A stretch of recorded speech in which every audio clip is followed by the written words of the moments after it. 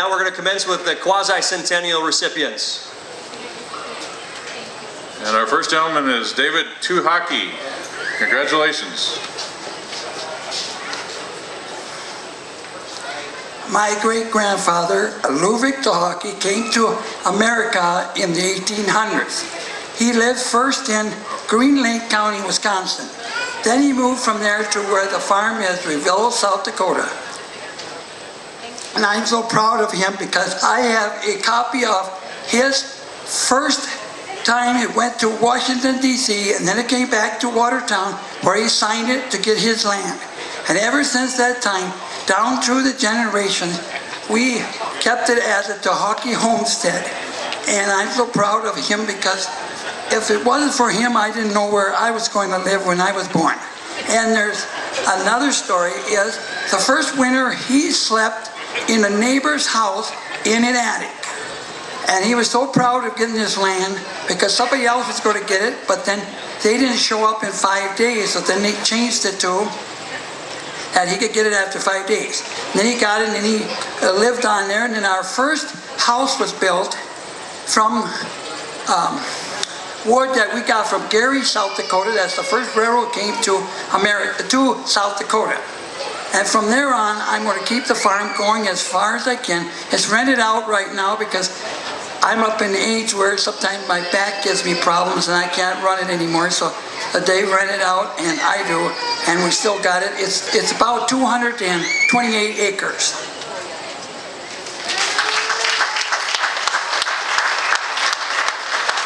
From Artesian, South Dakota, we have the Dolores Olson Kelsey family. I'll just say a few words here. Um, this is my mother, Dolores Kelsey, and her grandfather uh, homesteaded by Artesian, South Dakota in 1883. And to kind of put that in perspective, that's seven years before Wounded Knee. So it's kind of an interesting fact. Um, then Ole T in 1936 and two other proprietors um, after the Depression went and started the Life State, State Bank, which is now, of course, CorTrust. Unfortunately, the stock they had in it isn't worth anything, so we ran out of luck on that one. But that's, uh, Ole T. Olson was the proprietor of the, the homestead there. Thank you.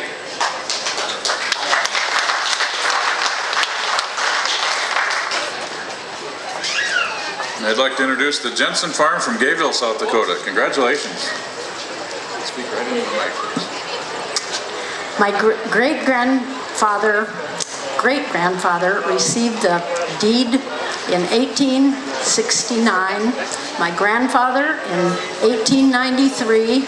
His name was James. My father, Mark, in 1842, and we purchased the farm in 1968. To God be the glory, and also thank you to Farm Bureau for what they did to give us this award. Thank you.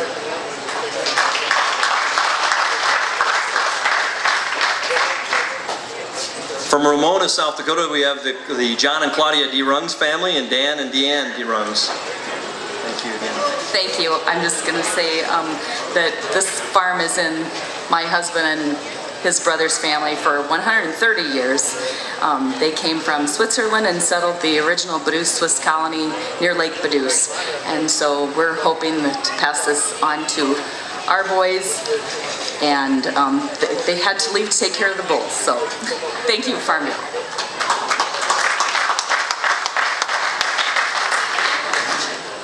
Our next award recipients from Arlington, South Dakota, the Griffith Farm. Congratulations.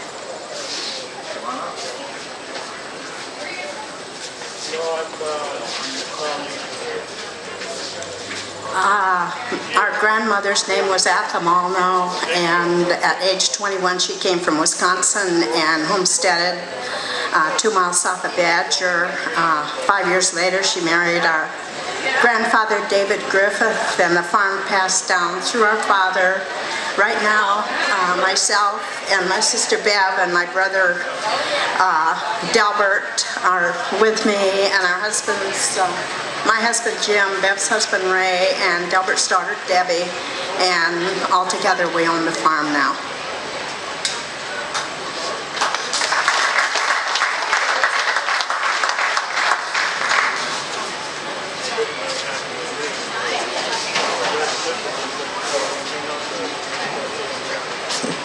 So we have the Tim and Peggy Clark family from Fedora.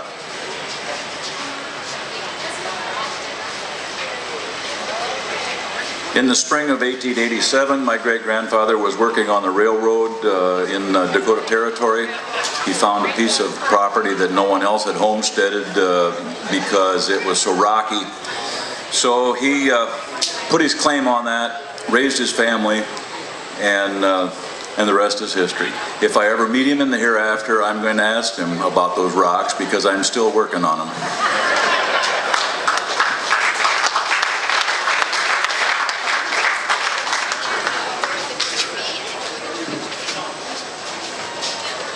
And next we congratulate the Hagen Family Farm from Brandon, South Dakota. Thank you. Uh, We, they came from uh, Norway in about 1860-something, early 1860s, and uh, they homesteaded the the property I'm on in 1872. Presently, my son and I farm, I should say my son farms and I help, and, uh, and I got a little grandson here too, so he's a sixth generation, so. And I'd like to thank the Farm Bureau for what they've done for us. And this is our whole family here. Uh, That's really important on a family farm. Thank you.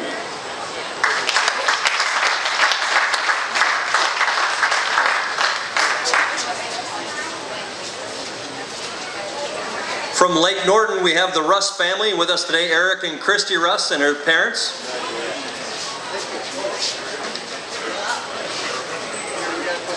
Well, I guess I'm the last one to buy it, so I gotta speak, so. Uh, It was homesteaded in 1888, on June 29th. Um, I guess I've been farming with my dad for 20 years, bought it two years ago. Um, It's been handed down every year. Uh, Last June 29th, I married my wife Christy, and here we are today, so, thank you.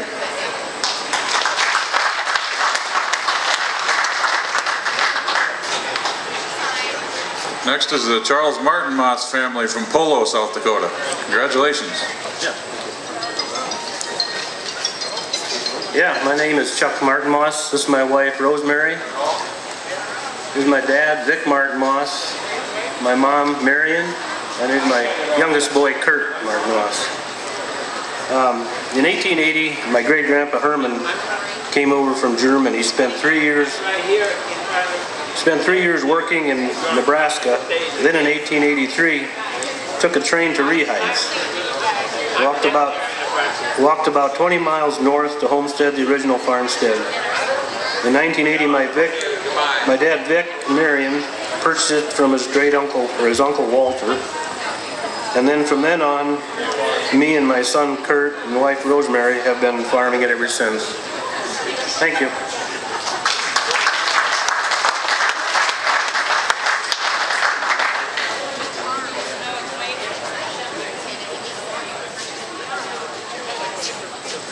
So from Lake Preston, we have the Wade and Lori and Dallas Jensen family with special friend Bree along today. Uh, from Lake Preston for the Arnie Olson Bow family homestead. Thank you. We uh, don't have much of a speech. We're going to work on it for the 150th. So had a bit. We're proud for the award. Thank you. Thank you. Bree and got Bree.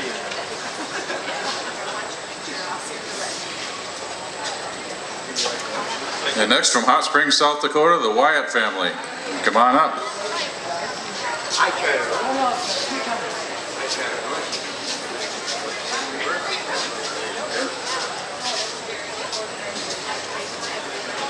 My, my brother Harold Wyatt is actually the one that lives on the property now. He wasn't able to come today and he asked us, my bro- brother, my, my brother Leroy and I to come and get the award. And he worked for Farm Bureau for many years. He had an insurance business. And we're the only ones that I see on this map from West River with the 125 years. And Granddad homesteaded there in 1894, 1884, and been in the family ever since. And Leroy here might say a word, a few words.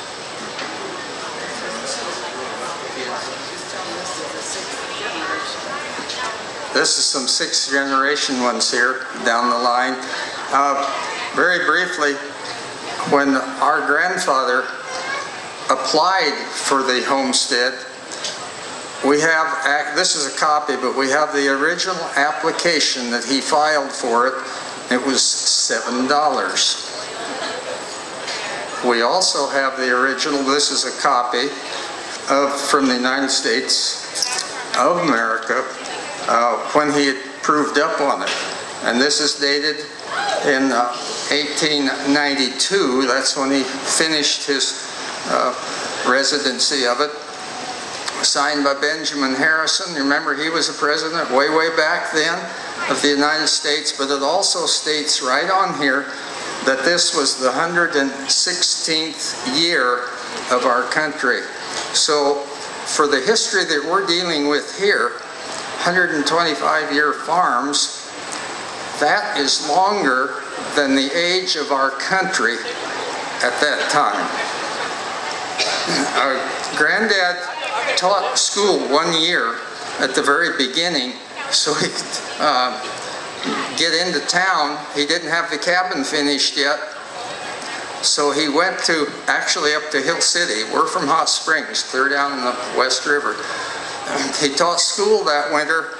The school year then was very long. He finished in March and went back and filed his papers.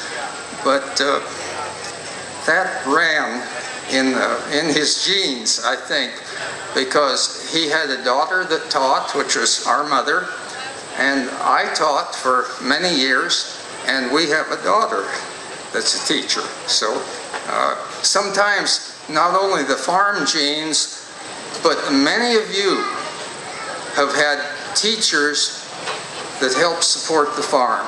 But thank you, Farm Bureau.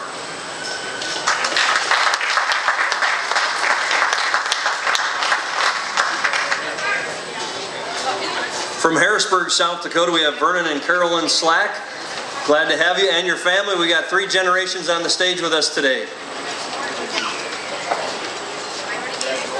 I'd like to thank the Farm Bureau for the Century Program. I was here with my dad and received the 100 year, and now I'm back with my family.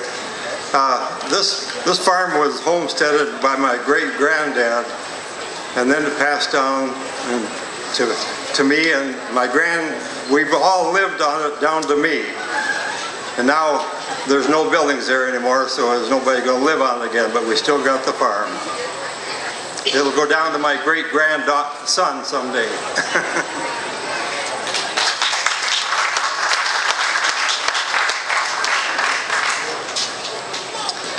I'd like to introduce Mike and Julie Elson from Hecla, South Dakota. Congratulations. I'd like to thank uh, South Dakota Department of Agriculture and uh, Farm Bureau for this award. Uh, my great-grandfather come from Germany. Uh, my grandpa and grandma, uh, great-grandpa and grandma, their name was Altman and Lena Elson. So they were German. They weren't Norwegian. But I'm I would be the fourth generation. We bought it from my mom and dad in 1998, and uh, got the fifth generation coming along. And uh, you can't have a better than uh, a farm to raise a family. So it's quite the privilege and honor. So thank you.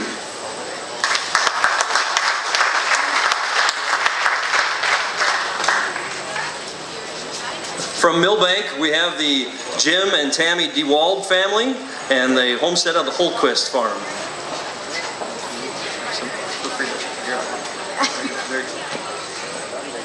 All right. Um, my great great grandfather Carl Holquist um, homesteaded in 1888, and then his son Gus took over in 1897, and then my grandfather Bert took over in 1921, and then my dad took over in 1964, and my brother was taking it over in 2006, but later that year had died.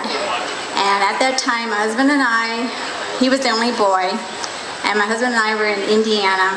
And so we had to make a decision to move back to South Dakota and um, buy the family farm to keep it in the family. And so we've been there for seven years. It hasn't been easy, but we're still trying to fix it up and get it back to where it used to be. But um, so I'm glad to be back in South Dakota. Thank you.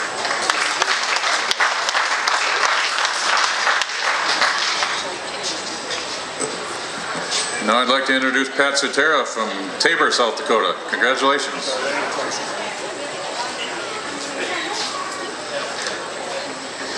Um, uh, first of all, I'd like to thank uh, the state and uh, Farm Bureau for hosting this. Really appreciate it.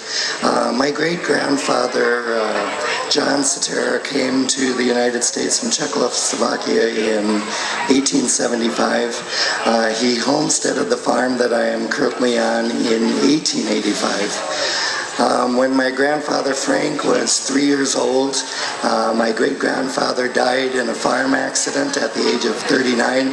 Uh, my great grandmother and her children uh, continued to run the farm uh, till my grandfather Frank was able to take it over.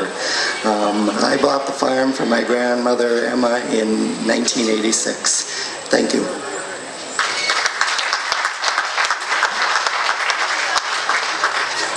From Langford, South Dakota, we have Keith and Patty Ogren and the family of Carl Ogren Homestead. And Kevin, Evan, is going to speak on behalf of the family. Uh, my great great grandfather came over from Sweden in 1882, stopped in Langford, and haven't left since. So the house we live in actually built in 1911. So I'd like to thank Farm Bureau and State of South Dakota for putting this on. Thanks.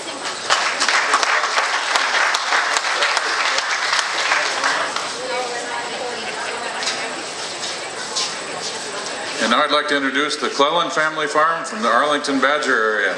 Congratulations.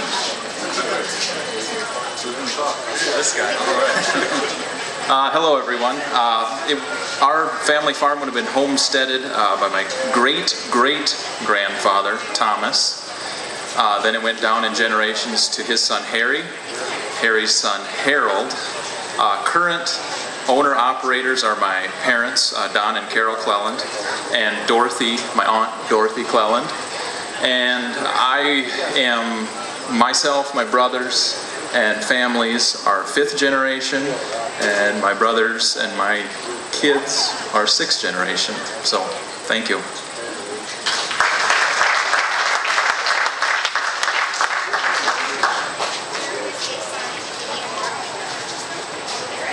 Next, we have Mark and Darla Lushke from Milbank, South Dakota.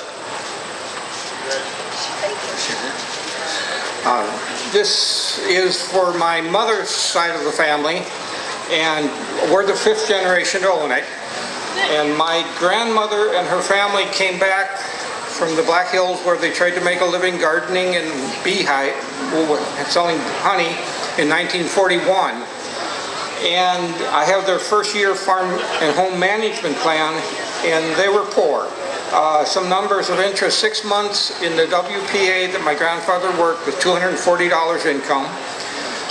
They had a net worth of $136, and this is a family with seven kids, and my mother was a senior in high school, and the fa- farm gross income planned for the next year was $1,319. Uh, the two I was up, we were up earlier with the Century Farm. The two farms are two miles apart. Growing up, I spent a lot of my time riding bike between the two farms because the garden and the river, the Yellowbank River is up there. And I, my grandfather enjoyed trees and banded birds, and that's where I spent my time growing up. And now we enjoy giving our grandchildren uh, walks by the river and uh, sledding and other things that a river and a farm can do for them. We enjoy it. Thank you.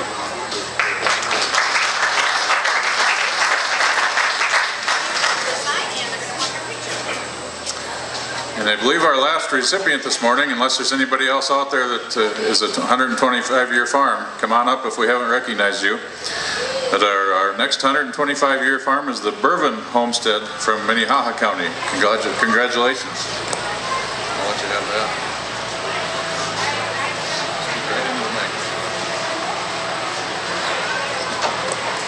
My grandfather came from Hardanger, Norway, and settled in Trempealeau, Wisconsin. In 1875, he decided to come to Dakota Territory, and he homesteaded in Minnehaha County. And my dad, Seymour Bourbon, inherited it from him, and now I'm the third generation. And at 92, I'm still managing it, a farm.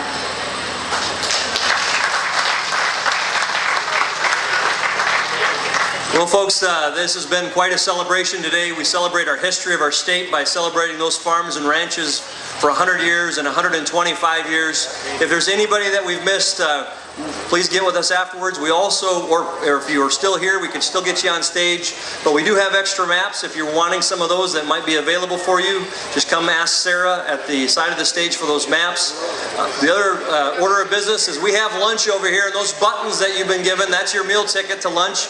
I would like to take a quick moment on behalf of Governor Dennis Daugaard and just say a very good, gracious thank you to South Dakota Farm Bureau, Wayne Smith, Scott VanderWal for being such a great partner in this uh, process. Thank you, sir.